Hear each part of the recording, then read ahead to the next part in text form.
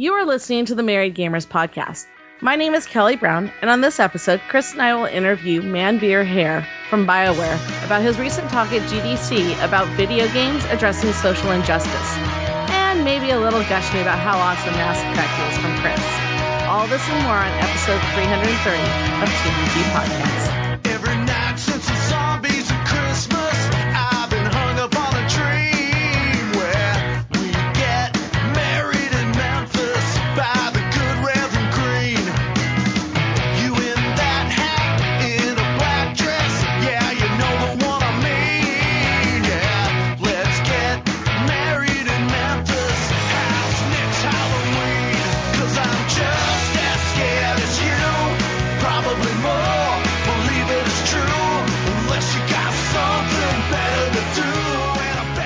And welcome to the Married Gamers. I am one of your hosts, Chris Brown, and this is episode 330, recorded on March 27th, 2014. Thank you so much for listening to us. Uh, yes, we have a very special guest with us tonight. We have Manveer Heir. He is a gameplay designer at BioWare, and uh, he gave a great speech from from all all accounts who who were present uh, at at, JD, at GDC. So we wanted to uh, have him on the show and uh, talk about about the speech and how not only uh, how that went and how what the response is, but we as as uh, gamers how we can uh, be involved as well. So uh, thank you so much for joining us, Manveer. Uh, thank you so much for having me, Chris and Kelly. And we're gonna put you on the spot like we uh, like we do each and every episode. We uh, lead off with an opening question, and uh, this week uh, the opening question is: What one game do you wish you could play as a VR enabled video game? This is you know we're talking vi- virtual reality, you know, and uh, so Kelly, Yes. we're gonna lead off with you. Well, okay, this might sound very strange because of what I chose, but um, I'm going with probably my old standby. And no, it's not Buggy Bunnies, um, but my old standby by uh, Bayonetta, because you know what? I want to be a badass motherfucking kick-ass woman who can actually, you know. Of course, I'm afraid I probably might break everything in the house and myself doing all those moves. But okay, anyways, I think it'd be cool. I'm just trying. I'm back. I'm I'm sort of thinking you didn't how play that would- uh, yeah, I'm just trying to conceptual conceptualize how that would work. It's How tons of fighting. Now, the only bad thing is, is You're like flying all over the screen. exactly, and just hopefully, you know, my clothes just don't all fall off, and my hair becomes my weapon, and yeah, you know. Okay, so note to self: uh, this that may replace my uh, my favorite moments during Dance Central.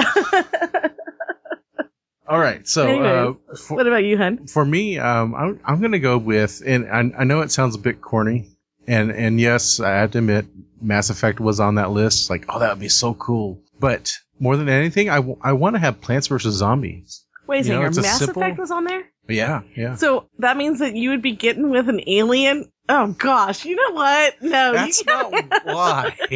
That's not why. you can't put Mass Effect on there. Gameplay. yeah, uh huh. Wait a No, but- here. but I, no. I do believe that you tried to romance everyone in. Was That's it part of the fun. Yeah, I know. So part of the fun. yeah, exactly. I believe Uh, that's but- the but- official correct way to play Mass Effect, by the way. Um, but yeah, Plants vs Zombie. I think uh, you know having that sort of spatial, you know, uh, level play, you know, almost like a football field type environment where you're placing plants before the zombies. And, so then, are you like, are you chucking the peas, no, or no, are you just no. planting? It's, it's still you know Oh, it's still a RTS. You're you're placing things, but being seeing the zombies come at you. Uh, no, thank you. in, in your field of vision versus from up above, I think I think it'd be a lot of fun. Okay, apparently, I'd rather see knives and other flying angels at me rather than zombies. Because no, thank you. And uh, last but not least, uh, we have Manveer. What would what would be the game that you would want to see Yeah. and- and play? Uh, I was just thinking about this, and so I mean, I've tried the Oculus, uh, you know, which obviously just got bought by Facebook. See, so big news this week. Um, the cool thing I thought about it was that, like, when you turn your head, right, you actually can see. It's like turning your head in real life, right? You're getting a different angle, and so I think like a Wing Commander game, or really any space, uh, like fighting game, would work really well there because then you can actually kind of take advantage of the whole like looking over your shoulder to see who's behind you uh, trying to actually use like the cockpit like like properly uh, as you're playing it. So an updated or a next wing commander or or other uh, space sim, I, I would say. Kelly, uh, tell the Yes. folks where they where we can be found. So you can find the Married Gamers at various places on the internet. You can find us online at www.themarriedgamers.net, Facebook at facebook.com forward slash the married gamers. Follow us on Twitter at married gamers. Also, you can follow Lefty at Lefty Brown or myself at Mrs. Lefty Brown. Uh, we have an official Twitch TV channel, which is official married gamers. Search for it.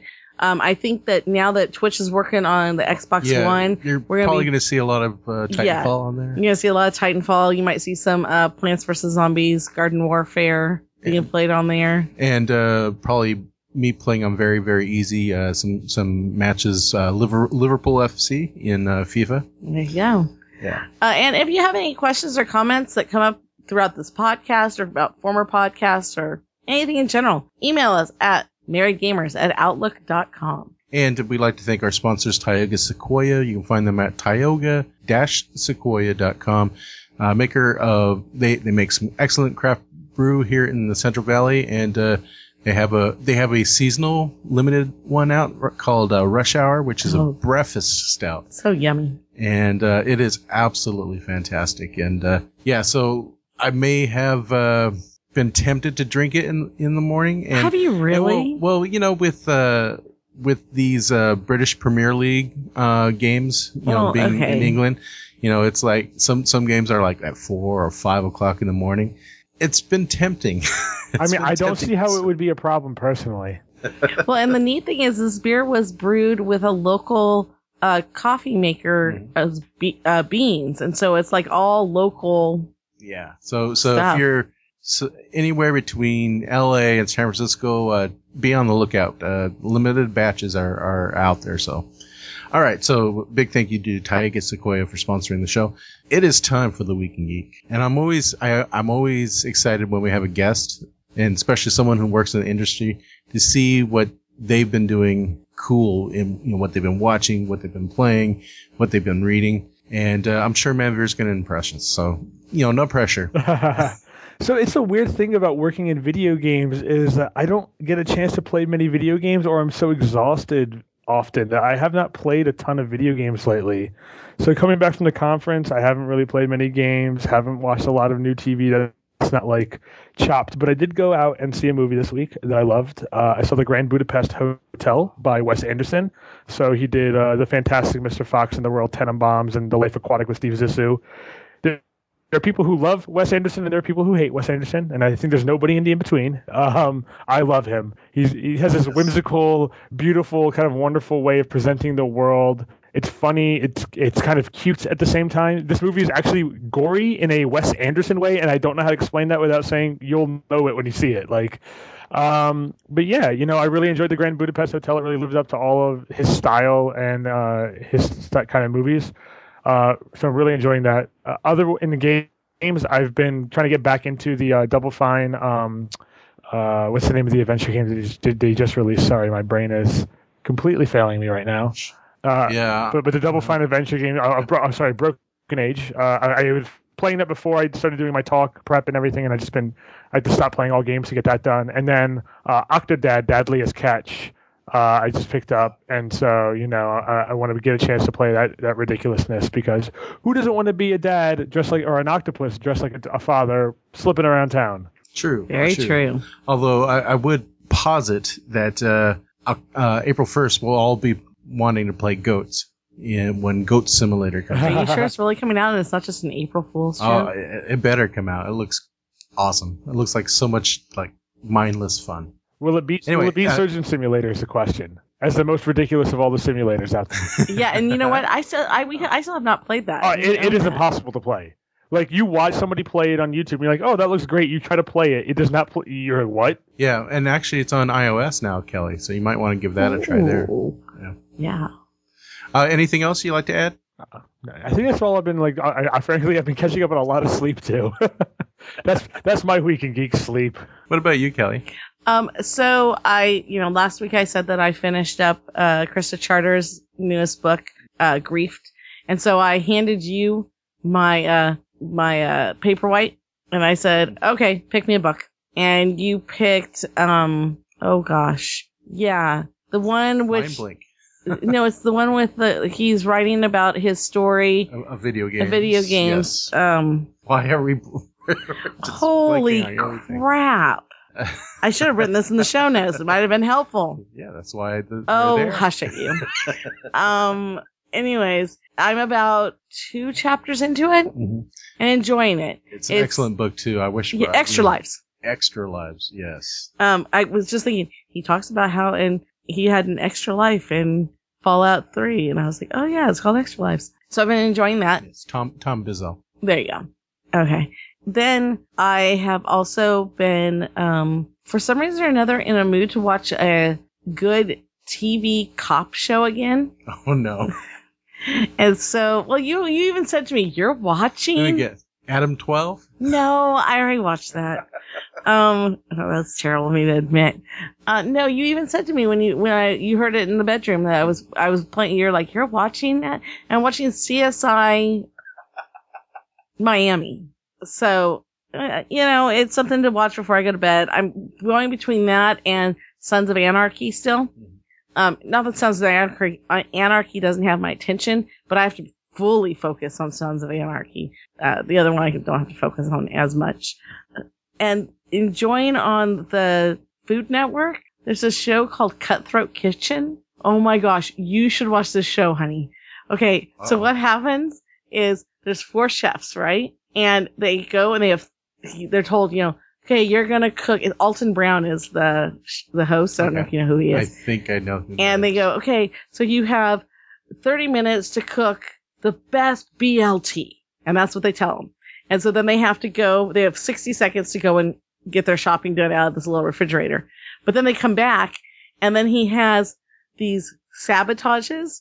So it could be something as much as one of them was, um, they had to do all their cooking on a shovel. And so they bid and they have $25,000 and however much money whoever wins, however much money they have left is how much they walk out with. So it's kind of interesting to see like how much somebody's willing to spend on sabotages and how they make a BLT without bacon or, Okay. you know, those types of things they'll have taken away from. It's an interesting show. I think you would enjoy it. And right Yeah. now, right I, I now, watch the Food Mick, Network. I, I watch the Food Network quite a bit. Have you seen Cutthroat Kitchen? I, I have. I will admit to hating the show.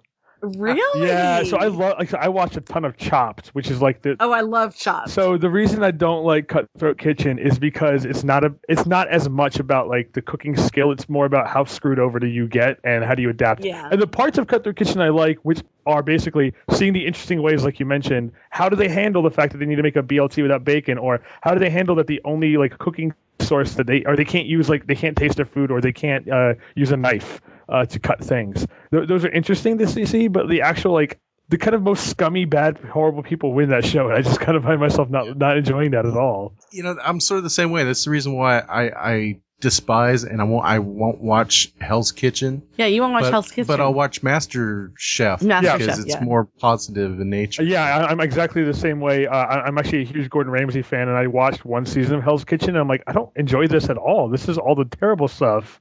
Yeah. But yeah, Master Chef or his like or other cooking shows that are more like here's skill. Like the the most skilled will win, not the most devious, or more uh, often more interesting to me. Any, anything else? Connie? Um, and yeah, and so, um, I have to admit with gaming, I haven't been doing tons of gaming because I've been spending two nights a week wrapping up TAing my H, the HTML CSS class. Mhm. And I learned some PHP. I was all excited. I learned some PHP. I, I have to show you this. Like I can make, I can make forms now Yeah. where it will, I, I know how to make forms so that it'll, it'll actually send an email to you. Like people can put information into a contact form and it'll get sent to you. okay. I think it's pretty cool that I And learned how to do that. next week you start JavaScript. and next week I start JavaScript. Right. And it's JavaScript. They broke JavaScript up into two. Uh, if you're local, it's at Geekwise Academy at Bitwise Industries. They broke it up into uh, JavaScript 1 and JavaScript 2 Mhm. because they found it was too much. But I have, up until then, up until now, been working on this website called codeacademy.com. And it can walk you through any language that you want to learn. Oh. So I've been taking JavaScript on codeacademy.com and they've gamified it. So as you're going along, you're like, you got a badge for whatever, um, and you they keep a streak count of how many days you've done Code Academy for. So there's the gamification add, That's added cool. to it. That's cool. So, but if you ever have an interest in wanting to learn the basics of a language, codeacademy.com. It's free. All you have to do is sign up for it. So, pretty cool. That's cool. So, yep, yep. What about you, Honey Bunch? Um, well, l- last weekend I uh, sort of like opened up a, a, uh vein, put some, or started taking fluids intravenously, and so I could just like hammer down and play Infamous Second Son. And I actually, from Friday to I think Sunday evening, um, I, I played from start to finish through the story.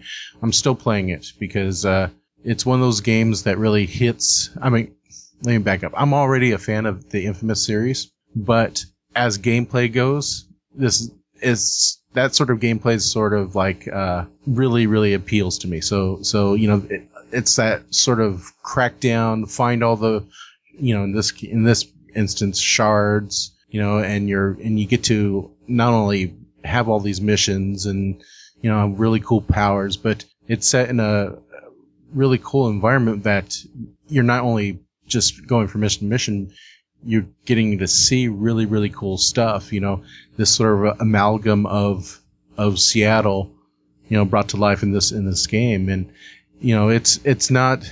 I mean, this is the first real game that people should, if they've been on the fence about getting a PS4, this is one of the first big steps saying, yes, this is this is one of the reasons why. Uh, it looks terrific. And, uh, in fact, you were walking by during a cutscene the other uh, Yeah. one one evening, and you were like, you thought I was watching a movie. Yeah, I did. I mean, there's some great moments, and you know, uh, for those who may not be familiar with the infamous series and but are attracted to to this title, uh, go for it because you won't need to know too much of the other two or know about the other two games, and there is a like a small, insi- little bit of like uh, connection to the other games, but it isn't in any way, shape, or form vital for for your for information and stuff like that.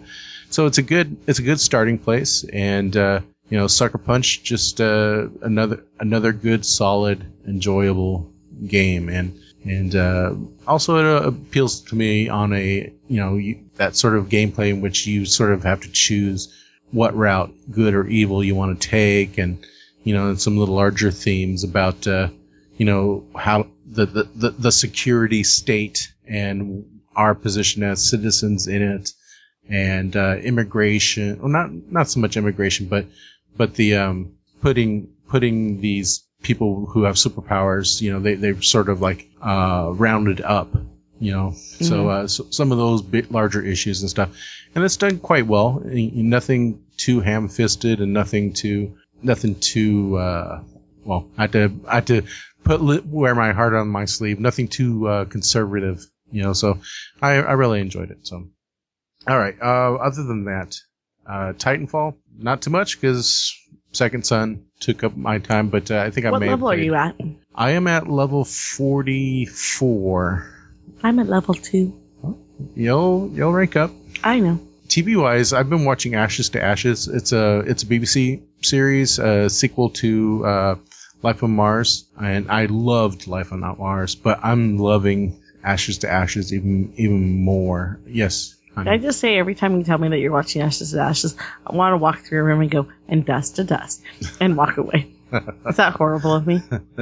Uh, so I'm in the final season of Ashes to Ashes, and and that's you know big revelations are happening, and you know it's it's a really good show. I, I really enjoyed it, and uh, I'll I'll end on uh, my week in geek with this.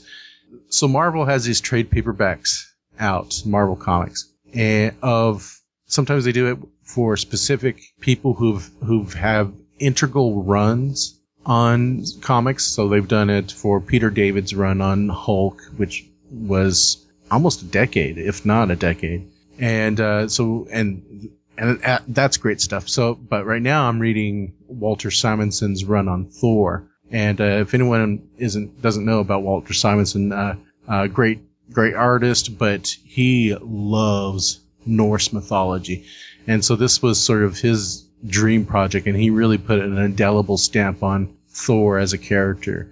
and uh, but it was one that I never got a chance to read so much back back during his run. So I'm very thankful that uh, Marvel is collecting it, and and uh, I've been enjoying reading it, and it's really good. Looks great. You know, it's still part of that '80s type uh, way of storytelling on in a comic book. So there's a lot of thought balloons and and uh, a lot of uh, rehashing of the plot because that's one of those those things that you do in comics to, to catch new readers up and stuff like that. But but all in all, it's still a very enjoyable uh, experience uh, to read through. So that is. Oh, and I, I I'm rereading the Lexi Cooper books too. So I'm now on the second book. So And you're gonna read the um the little mini series one, right? Too? yeah, the little short. Yeah. Okay.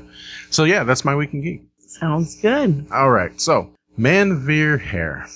Um, that sounds like you're like gonna put them on like a you know like so we're gonna We'll put you interrogate you.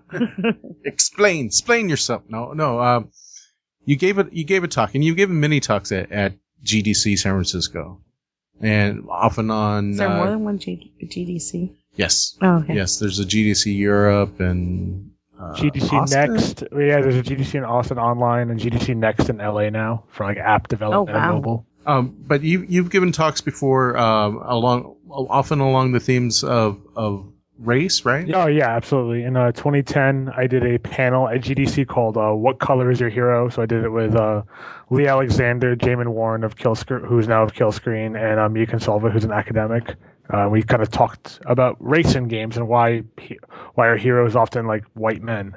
so but this year you you gave a talk about uh, well the title was misogyny racism and homo homophobia where do video video games stand and it it was it was not just a a, a talk uh, filled with facts but it was also a talk as a call to action and uh, uh, for folks who may have may not have heard about the uh, about the talk could you talk about uh, what what your your speech was about Sure. So really, what I wanted to do was take a look at how we treat social issues in games and what are what are video games themselves, not the culture around them, being like uh, how do we act on Xbox Live or how do we treat women who want to make games because there's some very problematic things happening in that area that I don't want to dismiss.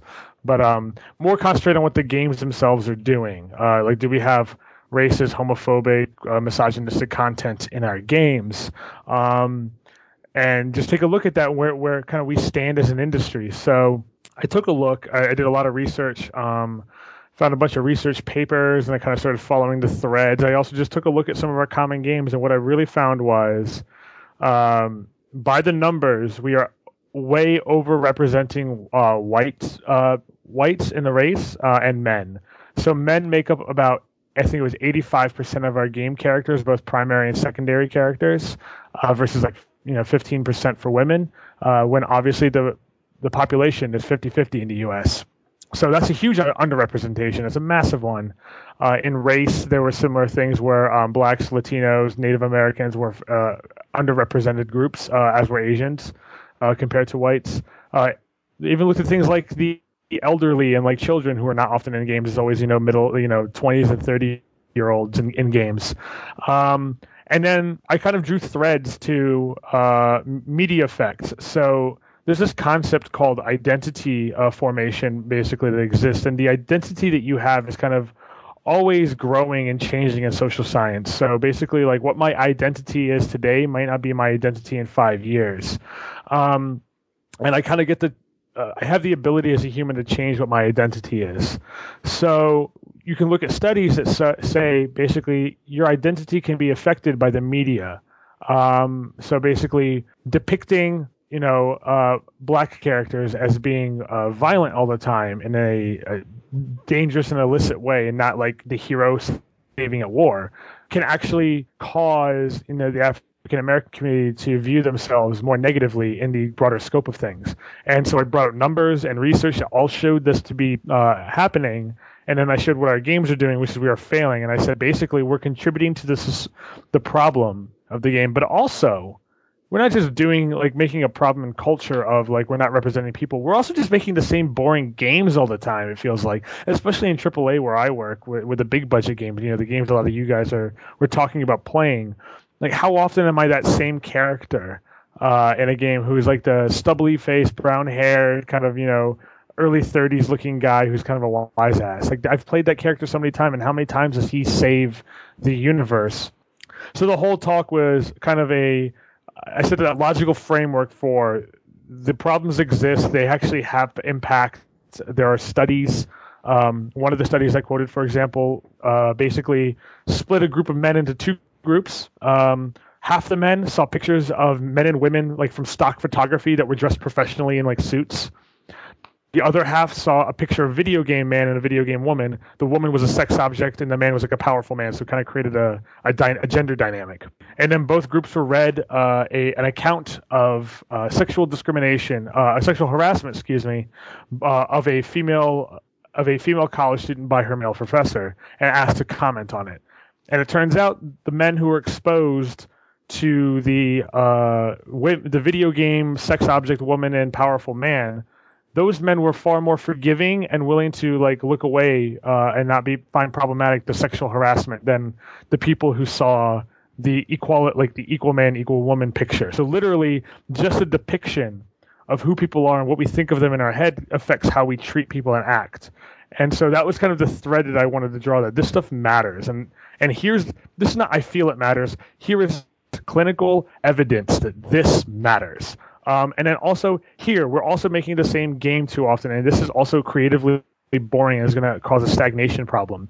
And then here's steps that we can do to get better, which is basically start a conversation because it's a room of developers. So start a conversation amongst yourselves with your coworkers, find problematic things in your game and try to fix them, and like don't give up when you hit resistance because you're going to. One other thing on on your uh, on on your speech that I, I thought was uh, sort of a revelation to me was uh, you know you you brought up uh, one some of the resistance to having more of these type of games, and especially games featuring a a, uh, a, a female pr- protagonist, uh, and many companies shy away from that game. And you know, in case of point, uh, Tomb Raider, you know they you know, they sort of point well. You know, it's not going to sell as well as you know the next Call of Duty or stuff like that. And you actually had some uh, some good uh, comments. I was wondering if you could uh, uh, tell our audience uh, about that. Sure. Yeah. So uh, one of the frequent things that comes up is like you know a women protagonist won't sell or a black protagonist won't sell, and um, the now defunct Penny Arcade report did some research in November of 2012 with EEDAR, which is like a data research firm, and they kind of showed that uh, it was true that women characters sold less than men characters, uh, and games that let you choose sold better than both of those. Um, however, it was also when you were an exclusive female character, you got like significantly less marketing spend and significantly less budget than the other games. And so my call was like, well, okay, if you want to point at that data, then that data is biased and that data is flawed. Like the amount of money I get to make my game impacts the quality of it, and the amount of money the marketing spends pushing my game impacts the uh, the reach of it. And so we can't really cherry pick that data and say, yeah, well, that, that doesn't work because then it becomes a self fulfilling prophecy of, well, we don't make the game with women in them because they don't sell, but then they don't sell because we're not making the game with women in them. And this all turns up to be like ginned up on really flawed data. And I think it's more, we're concerned. The real answer is we don't know.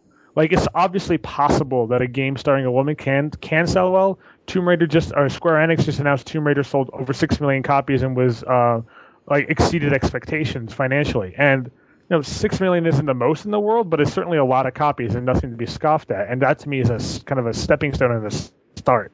So when you you know come up with uh, your talks that you're going to have in front of GDC, do you go with what is in your heart that you want to talk about and is in your passion, or is it you know I know that this is what's coming out within the video game realm within the next you know three to nine months, so this is where I'm going to go to kind of help I guess push the passion of the other people at GDC.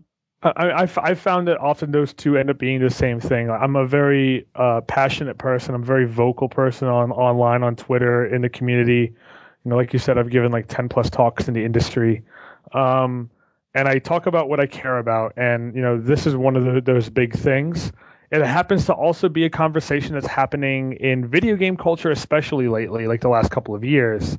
Um, and so that's kind of helped me keep keep an eye on it, keep thinking about it, keep hearing what other people are saying. So I always talk about what I think is the most important thing, but I also thought, hey, people are ready to start hearing this stuff now. Like you can tell that there's mo- there's a momentum or a tide shifting right now. It feels like, um, and this is becoming bigger and bigger, and people are really starting to pay attention. And what better time than at the biggest conference amongst the most amount of game developers that you can collect in an area to give this sort of talk. Do you do you find that you know obviously after you give the talk that there's a lot of people that cover your your your talks and so that it's out on the the internet to people who weren't able to hear you converse live that it's being well received or are people questioning why you gave your talk? Um, I have, you know, I have a large following on Twitter, and I've gotten a lot of comments on Twitter, and they have been overwhelmingly positive. Um, at, at the conference itself, I mean, I know I knew I had a good talk. I knew I had to talk to people cared about, but I didn't know people were going to show up or how they were going to receive like the logical side of the message and then the kind of impassioned plea at the end. And, and I mean, I got a standing ovation, and that's that's always humbling. It, it's kind of amazing to, to see that people love it that much. And then yeah, you walk away and people start writing that up. But that becomes kind of the narrative that ended up being kind of called out in all of these write ups, you know, at Polygon and and uh, GameIndustry.biz and everything that they're mentioning. Like a crowd of people, developers, really stood up and cheered for this. Um, and that means that they care. And maybe that influences their narrative too. I don't know. It doesn't really matter to me. But I found that most of the write ups have been very positive as well. Uh, at least the write-ups that were of people who were there. There are then write-ups of write-ups, which are just god awful usually, which we won't even get into. Um, and then yeah, everyone's been very positive to me. Now, if I go to those write-ups and I troll through the comments, or I look at, I did an interview with Adam Sessler, who used to be of X-Play and now runs Revision Three Games on YouTube. I did like a 17-minute on-camera interview with him. If I read through those comments on YouTube, I'm sure I would hate myself. But that's why you don't read the comments. Everybody knows this. Like, don't like that's where the dregs of of thought are going to be. And but as for people actually attacking me or or saying that my my I I think I've received literally three negative comments of people directly coming at me on Twitter and saying, I really disagree with you. And interestingly, I've received no threats. No one's attempted to like, threaten to rape me, to kill me. And frankly, if I were a woman and said the exact same message, there is a zero chance that that is going to be true. You can look at other outspoken women in our industry and see the death threats, the doxing that's happened of their personal information being exposed. And that was kind of stark because I'm friends with a lot of these women who are outspoken. And like I, I obviously I have a, a, massive amount of privilege of not being treated like that. But it also kind of saddens me because I, I start wondering, are people listening to this message more because of where I work and I'm a man? And I think that's part of it, to be completely frank. You know, some of that you can't change because you are who you are, but it's good that you are standing up and and speaking your mind all the same. Uh, I did want to to ask about so you know in line with the reaction, the your your speech was not only uh, making your case and and presenting facts and, and thesis, but it was drawing people to your cause. It was empowering people to stand up and make a difference. And, and so I was wondering in terms of uh, making or affecting change in, in the industry. Do you think that there was enough, pe- you know, the, the, the right type type of people there that can can actually affect change in their their companies? You know, whether that you know whether they're doing their own small small uh, indie gaming or if they are you know developers and they and they have to report back to the bosses. Is there is there enough sentiment there? Is there enough vigor for for for change in the industry that that will that you think that we'll we'll see some of this uh, uh, come about? Uh, I mean, I certainly hope that. I, I, certainly think the right people were there, uh, the right types of people, the people that were had open minds. Uh, you know, whether or they are they already believed it or they were on the fence, and they they I convinced them. Um, now, as for actual change, I think we'll see some amount of change. I don't know if it, how much though, right? I, I, I think this is a process. I don't think this is like, well, I'm done. Like we're gonna be good from now on, right? Um, right. I think people are starting to think about these things. Really, what my talk was about is understand why you default to something, right? Like I I was talking with a friend um, while I was at GDC. He worked on an indie game, and in the indie game, he hired an artist to kind of concept him a family, a, a mom, a dad, and a son. And he just said, "Can you concept me a family?" And told him what the indie game kind of was. And then they came back, and he got a white family, right? And in the artist's head, it was a white family, and in his head, it was a white family. But never did they ever actually say that out loud. That was defaulted. And so what my talk was about is if the, if you want that to be the, your game, that's fine. Just be cognizant of that. Like don't fall back on that default just because you had to. And I've heard anecdotally that people are hearing that message. I, I heard someone told me at GDC right after my talk, they overheard another group kind of basically going, Hey, when we get back to the office, we should talk about this character in our game and fix this because this is a problem. And the other guy going, Yeah, I agree. And it's like, Hey, if that one person changed their game when they got back or had a discussion about it or at least started understanding their biases, like you didn't, they didn't even have to change anything. They could just question it. And the act of questioning it means you're cognizant and then you can make the right creative call and that's really what I want people to do is question why they do things. Like question why you you go, well, this character should be a male, or this character should be straight, this character should be you know uh, white. Uh, um, and so I think that's slowly happening now. Is everyone going to be able to go back and win? No. There's a there's a lot of closed-minded people still. There's a lot of people who don't see this. There's a lot of people who actively push against this, and some of them exist in the industry itself and not just in the fans. Um, and so uh, people will have differing amounts of success, but I'm confident that at any reasonable sized company, that you will find allies who believe in the same thing that you. So part of my call to action was find those people, have discussions, because frankly, more voices are more powerful than one voice, right? And so you start finding that group of people who eh, within your own organization, you can start having open discussions about these issues and then propose things as groups and you can stand up for each other and i think that has the long-term effect of, of affecting change Why is it that in other other forms of media, uh, take for instance on television, you know, I, I, I like to use Star Trek as as one of those uh, shows that sort of uh, made people think about things like such as racism, xenophobia, and and, and the such. And and we see in in other forms of media, but when it comes to games, there there are positive examples, but uh, but by and large, uh, it's it's more of that sort of white male, you know, what like you described earlier. Why is it games doesn't, uh, as a whole, you know, address those issues? Um, I think there's a few things. One, I actually don't think we're that much worse than the rest of media. I think most of media is pretty bad at this, but I do think we're worse than uh, film and TV. Uh, and I just think there's a lot more film and TV out there right now, and there's a larger history of it as well that, to draw upon. So the numbers look skewed if they're not actually skewed.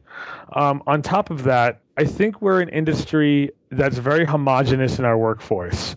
So that is, I work primarily with white men, um, and most most mostly heterosexual men, and that is none of their own faults, right? But we are kind of drawing the same sorts of people into the industry, and when you do that, you have a very similar voice often that that comes out, um, and that taps into um, just kind of the cultural biases that we all collect. Uh, additionally, I also think video games are still relatively young, and the narrative push in video games is a lot more recent. That kind of started around, I'm gonna say Xbox One, PlayStation 2 era, maybe even PS1.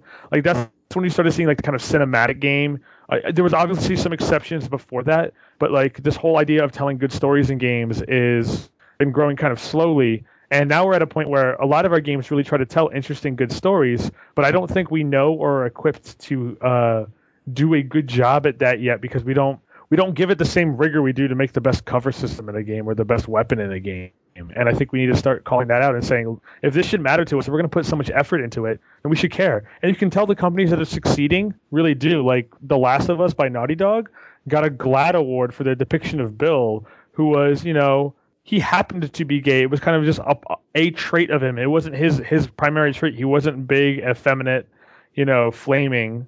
He he just also happened to be attracted to men of the same sex and you want that kind of representation because there are morally questionable evil and good you know gay people and black people and asian people and uh, trans people and everything in between um, and, and we all kind of make up that full swath so i think games are behind um, in part because of the workforce thing like i said in part because we're scared a little bit, and part because we just don't know better. And part of my call was to like, well, here you can't claim you don't know better. I'm telling you.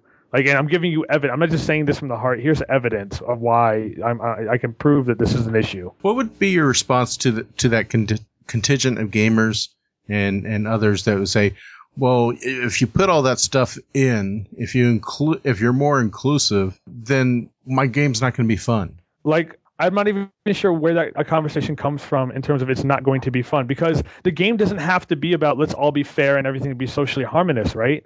Like the Right. game could just depict characters that have different backgrounds. Again, why can't why can't Master Chief be black? Well, he doesn't really have a face. But okay, why can't Nathan Drake be black? Like, would that actually change the game at all if he just happened to be African American? I don't think that changes that game at all. I think that game is still fun. Um, you know, Tomb Raider has very many Uncharted like qualities to it in its gameplay, and it's very fun, and it's got a woman. So, one, I think that's a straw man argument. Um, Mhm. Two is the other argument ends up being that like, well, um, I just want to play games; they're just fun. I don't want to think about these issues. And the thing is, for those of us who are not the majority, well, we want to do the same thing, but like we're not afforded the same ability to just go into a fantasy world and feel like I, I can just fully invest in this fantasy world because in the fantasy world, well, I'm brown. Brown people are usually persecuted in fantasy world. Uh, women are usually prostitutes or like subservient to men, really beneath the heel. And in your everyday life, when you're trying to just go into escapism of, of, of craft or of media, and you're reminded of that stuff every day, like it's hard to just escape on that. And people who don't see that are usually ones in the majority. And the rest of us deserve the right to be able to invest ourselves in fantasy constructs and, and have escapism there. And I would like to see that more. Like that, there- there's no reason we can't do that now. Um, so are there some games that you would say, you know, they're actually doing it right as we speak? Sure. Uh, yeah, a couple games I quoted in my talk. One was Assassin's Creed 3 Liberation, which was uh, originally on the Vita and I believe ported over to like Xbox Live or uh, Xbox Live and like downloadable and uh, PlayStation Network. Um, and so it was it was starring a um, biracial character named Aveline uh, in New Orleans. Uh, and she was an assassin, for example, right? Um, but then basically, as well as being an assassin, she comes from a biracial background of French and African ancestry. Uh, and New Orleans at that time, if you don't know, was very, very, very diverse, mixed, one of the craziest melting pots ever to exist in Western history. Um, and that game put some interesting game mechanics behind it. So basically, you can change, you can go from assassin mode to what's called like late like be acting like the lady and when you're that you're kind of racially passing as a white woman because you're of mixed background so you can kind of pass up into the white world right? And now you start wearing very nice dresses and you act prim and proper um, but you can't really climb on things anymore and the mechanics of the game change. Um, or you can actually pass as a slave um, and you can kind of blend in with the slaves if people are on your uh, on your tail and you can kind of blend in and you start realizing well yeah, people don't actually look at slaves like people. They actually just they're just kind of there. And there's this like it's this very socially conscious content that isn't overt in your face going here's a message for you it's it's an interesting fun game and they built it into the game mechanics uh, I, I also think papers please um, which is an indie game was my favorite game of last year about being a um, kind of a border control agent on a eastern bloc country they made as a made up country um, and it really codifies like ethnocentrism and nationalism because you start getting rules about like who you should let into the country and not and you start really like judging other people from other countries who are probably racially the same as you but they're not from the same country as you so they're different right and so now you start treating them kind of poorly uh, and i thought that was a really interesting game that tackled an issue uh, and made it really interesting and fun Yeah, well, I, I would also add, uh, you know, one, one of my favorite games of, of last year, Gone Home. When I think, and this is going to lead into my next question, that sort of you you you explore, you learn through through letters and objects and audio and stuff like that. It's a way of of connecting to to a to a character and her her uh, her life and uh, you know and the relationship she has with others and who she is uh, and who she's developing into and it it the way that's presented it's it's disarming. And uh, I, I think that's a, an, it would be an interesting experience for someone who would who would maybe uh, consider themselves uh, homophobic and, and whatnot as a way to to understand where people you know where who they are and stuff in, in a way that isn't uh, uh, confrontational. And, and so I wanted to get your opinion, uh, Manveer, about how how would you respond to you know those people who may disagree with certain injustices uh, perceived uh, what we perceive as injustice, such, such as uh, marriage equality, you know, and you know because of some you know they're they're they may be uh, it may not coincide with their religious beliefs and whatnot. Sure. I mean, that's always a difficult subject because, frankly, I'm I'm an advocate for these sorts of things, and so I just think they're blanketly wrong. I, I mean, I'm I, I I think they're absolutely wrong and on the wrong side of history, but also being ethically and morally wrong, and that's a judgment call. Only like they probably think the same thing about me for uh, you know promoting gay rights and things like that. Um, and so that's actually kind of hard because part of me says I'm not trying to convince those people. They've kind of made up their minds. What I'm trying to convince the people is on the middle or who don't have a real thought on it, which is a lot of people, frankly, um, who just to see a fairer world. But but to me, I don't necessarily feel the need to go uh, out of my way to go court or try to convince somebody, I guess, who might be what I would consider to be homophobic because of their religious beliefs or whatever, um, that believes that that's a sin you know, if they want to make a game that doesn't have that stuff or shows that it's a sin, they should have the complete right to do that. Uh, and we can have a discourse about it through our game mechanics and, and through the through you know blogs and media afterwards, and that's totally fine. Like to me, it's not about forcing anybody to change their content. Um, what it's about is looking at the pattern as an industry, right? If if the pattern as an industry is we always do the same thing, that pattern needs to change. I don't need to. I can it, it'd be stupid of me to just point at one game or one group and go like you need to change. It's more of a bunch of us need to change, and some group of if some percentage of us do that, we're doing better. But like frankly, with with, with somebody who just uh, fundamentally morally disagrees with that, I don't know if you get anywhere on that conversation. It's like trying to have a religious debate over Christmas or something. It's not going to go anywhere good, in my opinion. Like it's never turned out well.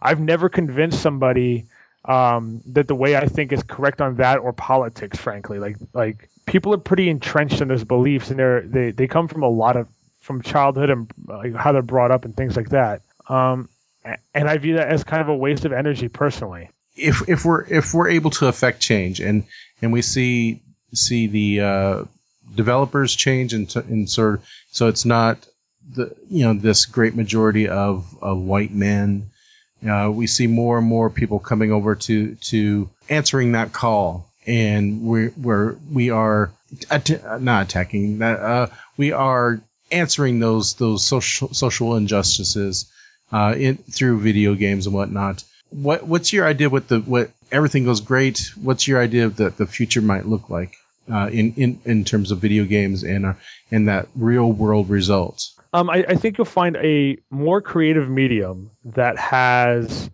a, a, wider variety of interesting experiences to play as. So you'll you won't have every single game being the Hollywood blockbuster or you save the world in the universe, right? You'll you'll have more games that are like the Gone Home, which is like a coming of age story, but it just happens to be also a coming of age story and realizing you're gay um, you'll have more experiences that people can relate to. And so I think we'll have a better swath. We'll have these indie games at the small end, uh, budget wise, and we'll have AAA games at the large end, uh, budget wise, and we'll have a lot of stuff in between.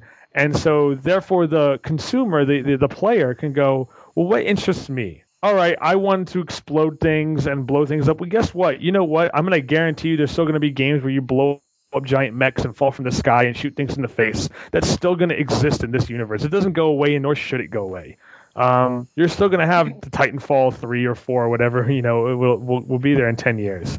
Um, but there'll also just be all these other. Hey, I don't care about that big like exploding stuff. I want to have this kind of heartfelt, intimate story like the Dear Esther's and the the Gone Homes. Well, more of that will hopefully exist, and then we'll have that kind of bleed over where you have like that big budget game that tackles some of these issues. You can see things like the Bioshock games at least attempted to tackle those issues. It's debatable how well they did, but like you can see themes of, of race and, and um, economic equality and things like that in, in the Bioshock games. And I think those games are better um, for exploring exploring that that stuff, and they have a more interesting kind of point of view versus again the the kind of the straightforward. So I think we'll see a more creative medium.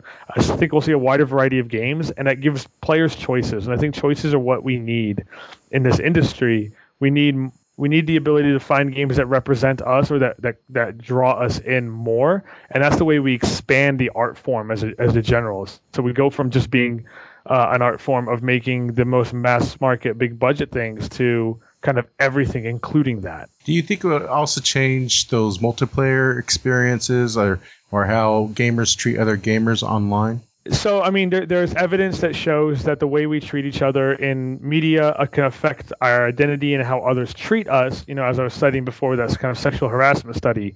So, slowly, yes, but that is also reinforced by the rest of culture, right? Like by film and TV and, and stuff like that.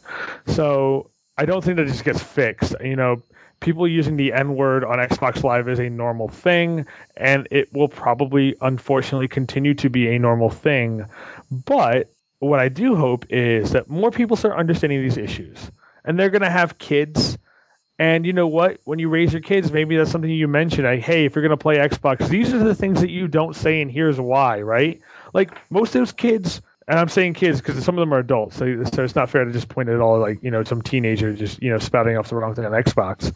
But there's a lot of us who are not told how to interact with other people on a social level, and it wasn't because our parents didn't care; it's just they didn't know how to have that conversation, or it wasn't kind of a focus. But you know, I know if I had kids, I would be like, well, if you're at a party with a girl, you make sure you do and don't do these things, right? This this reinforces rape culture, and this does this is okay. And I would have that conversation with my child, especially a male child. And I would think the same thing of of playing uh, online games. So I think we're doing our part to help the culture civilize or get better. Um, and it, we can't fix it on our own, but we should at least fix our own house. You know, that was a big part of my talk: is fix our own house. I have one last question myself, and I, Kelly might have a question. What your speech was aimed towards to to your own community, developers and whatnot. What what are your suggestions that uh, what we as gamers uh, can do to to also affect change? Sure. Uh, I mean, I think the first thing is find the games that are doing the interesting things and support them financially by buying them and vocally by saying that this is interesting and this speaks to me and this is why, right? So if Gone Home really connected with you, um, speak up about that because we are a copycat industry, sadly, and so when the powers that be that be like see that everyone's drawing towards one trend, they start copying that trend, and that you can use that to your advantage. Um, and so to me, it's just about like being vocal about it. Unfortunately, the internet is far too vocal on the negative and not on the positive, and that's just sort of human nature. But if we understand that and we start, you know, saying, here's a game that really spoke to me, and, and we tweet about it, and we say positive things, and we reinforce that, those, and we buy that, and it's it's it's monetarily a success because that frankly matters in the business world. Then you'll see more games being made like that, and you will see more people being rewarded for that, so then they want to keep trying their unique voices in the world, right? Um, so to me, it's about support, finding the things that you care about in the industry, supporting them, searching them out, and then get also getting out of your bubble. If you only play the same handful of types of games, start following some new people on Twitter, start like reading some new blogs that, that, that have things that challenge you, that are different, and give consideration to some of them. You know, if you're listening to this right now, you haven't played Gone Home or you haven't played Papers, Please, like go try both of those games out. Like I think for most people, they would really enjoy them and they're really interesting games that have something unique to say. Or try Assassin's Creed 3 Liberation. Give these things an idea and think about how that affected the game experience and then talk about it vocally with other people. Like we're a connected society now, thanks to the internet.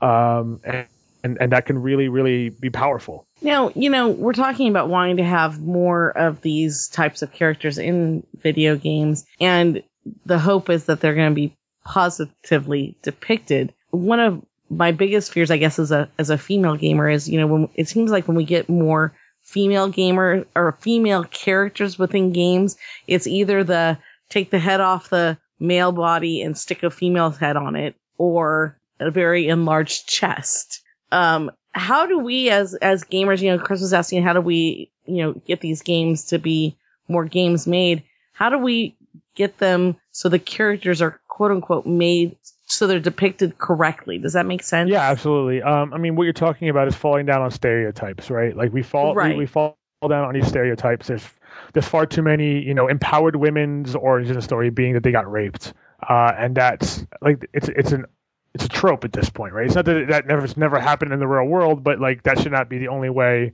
that a powerful woman exists in this world. Um, again, I actually do think it's about speaking up about it. There's some blogs and stuff that basically start exposing like I saw one that was like ridiculous fantasy armor, right? And it's every time there's like skimpy fantasy armor for the female character, and they just like paste the picture on this Tumblr, and it, it goes up, and you're like, yeah, that makes no sense in a medieval setting. Like, why would you just be covering up the breasts and like the mid? Like a sword obviously would cut you. Like that's just silly. Um, I think calling attention to it, starting a dialogue um, with people, finding other people to kind of speak up as well. That that all matters, and ask for better. If you you can like problematic content, right? Like you can just go, this content is problematic, but I still like this game. You can have a game like Grand Theft Auto 5 is a great game. It also has a really, really problematic depiction of trans people, trans women specifically in it. In it, uh, that is quite terrible in my opinion. I can still like Grand Theft Auto 5, but I can also call the developers out publicly and privately and say that you need to do better on this stuff because that that affects people and it affects how people think of themselves and it affects how people treat others. Well, you know, it seems like uh, being in the educational field myself, so many children are being impacted by these games, whether they should be at the ages that they are. There's not much we can do about that. That's a, a parental thing. But it's important, like you're saying, that they get exposed, that we as a society get exposed within our media content to correct depictions and not incorrect Honest depictions. Yeah, honest depictions. Yeah, honest depictions. And like I said, people are everything. So it's it's going to come down to two steps, in my opinion. Because step one is we're underrepresented as as women and racial minorities and, and uh, LGBT um, groups. Like that, that's all underrepresented. That is like there's no disputing it. So we have to first start by representing that more more fairly in, in our games. Um, and then what's inevitably going to happen is you could get a bunch of depictions that are all the same. You could get, well, we have a lot of gay characters where they're all the flaming, stereotypical gay character. It's like, well, no, maybe let's not fall upon that. Like, maybe let's try not to fall on that stereotype. Let's try to like do what uh, The Last of Us did with Bill and, and even Ellie, and, and and create more fair characters um, to us. But here's the world I want to get in.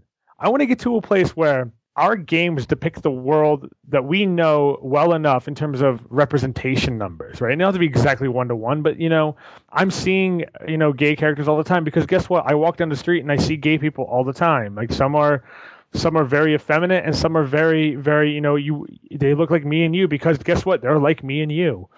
Uh, um, and I, I would want to just be able to have, have games where you could make the negative depiction of a character and a positive depiction, and it wouldn't really be a big deal because it wasn't overwhelmingly that the character was negative. Because stereotypes do exist for a reason. Uh, Uh, you know, they re- exist for a cognitive reason, but they also they're based off something. It's not like there's nobody like that. But if if they're not the norm, then we're in a good spot. And so that then you can actually use a stereotype. What what what, what would it would no longer be a stereotype at that point in the world, and you would just think, okay, um, there's a very effeminately gay man uh, in, in this game, and I don't think anything of it. I don't think that's a negative depiction or overly negative because that's not the depiction I see every day in media in my life. That's a pipe dream. I don't know if we'll ever get there in media in general, but like, or at least in my lifetime. But that would be nice. Like, what? I would love that because then we actually can just make all the characters that we want and not have to actually actively sit here and think about, well, okay, what are all the negative tropes I'm falling upon when I make this violent, angry black man in my game? Like, am I doing the same thing? Every yep, oh, yep, I am. By the numbers, I'm absolutely doing the thing that everybody else does. I would like to uh, very quickly thank you and the rest of, uh, the BioWare team for uh, Mass Effect. Uh, you know, that's been a, a, a great game that has also uh, a, a, ha, has addressed social injustices. You know, I've always, I've long respected the fact that you know we're we're, dealing in in a future sense about humanity learning to ac- accept other other cultures and and other races, alien races and stuff, and, and vice versa as well. And I thought that was a very, it, it really uh, spoke to me about, uh, you know, xenophobia and, and, uh, also managed to be a great third person shooter, uh, exploration and all that. and uh, a lot of fun. Even even down to the um, fact that your the, the, the multiplayer was was uh, cooperative. You know, I think was it was uh, one of the most appealing uh, things I, I found uh, in in Mass Effect Three. So I wanted to thank you and the rest of Bioware for, for your your guys' point your your guys' part in, in all that.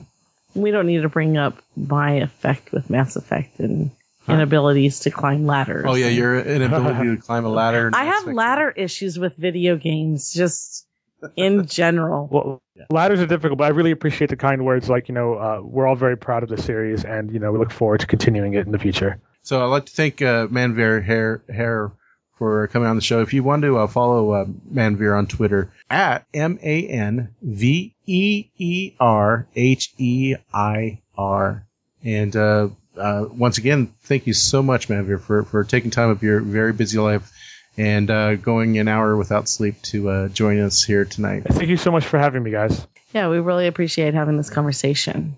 Now, Kelly, Yes. it's that time. Take us out. Don't forget you can find us on our website at www.themarriedgamers.net. Also on Facebook at facebook.com forward slash the married gamers, where we try to have daily content for you to interact us with us with. Boy, there's a lot of whiffs. um, also on Twitter, you can follow us at at married gamers. Follow Lefty at Lefty Brown or myself at Mrs. Lefty Brown. We also have a Pinterest page. Um, it's Pinterest slash uh, married gamers. Uh, you know, pin pin things that you like there that you want us to see. Repin what we've pinned. We like to see you guys and what you're doing on Pinterest. Please Yeah, check us out check there. us out there. It's a new adventure for me, the whole Pinterest thing. And uh, And don't we pin it on your great clothes, staff uh, working on that as well. Yes. As I try to get wrap my hand my head around what Pinterest is, but a lot of you guys like it. We've been noticing. Yeah, and and the whole idea of repinning, I, I don't get it, but apparently there's something about it. I don't know. Anyways, um, also, uh, don't forget to you can mail us at marriedgamers at outlook.com, and if you do, I promise to bring back my song. Oh yeah, we're not going to talk about it. uh, what we are going to talk about is uh, we have a, a exclusive Married Gamers app available for, available for $1.99 on most smartphones and tablets. And uh, we also have bonus episodes that will be starting up again here very soon. Yay! I'm so happy. Um, that you can only hear if you own if if if you own the app. So uh, uh, if you want to hear more about uh, what what we've been, I think we're working our way through the Alien series and Yes. moving on to other stuff, but also We topicals. got a lot of stuff like Yeah. Maybe Um, you know what we should do yeah. when we finish up the Alien series. The end of the the Alien series, we should pick like three things and ask our listeners to email us what one they what like is Yeah, the next thing they want us to do I for don't- I bonus don't want content. it all to be about uh, uh, No, movies and stuff. no, no, but like you the next I- I the like next talk movie just- or whatever we do. Or Yeah. Yeah, well, that's a possibility. But uh, so the, the app is available for dollar ninety nine, and it helps us with server costs and all that sort of stuff. So uh, thank you to those who have already bought it, and uh, hope you've been liking the uh, the app. So thank you very much. Next week we will be talking about VR gaming. you mean the thing that makes me sick? Yes, and, and we will be talking about how many uh, times Kelly will probably say that it will probably make her sick. So uh, count it up. Hey, we should have a contest. We should. You know, we got How we many got times? we got a couple of things here we could give Yes, away. Yeah.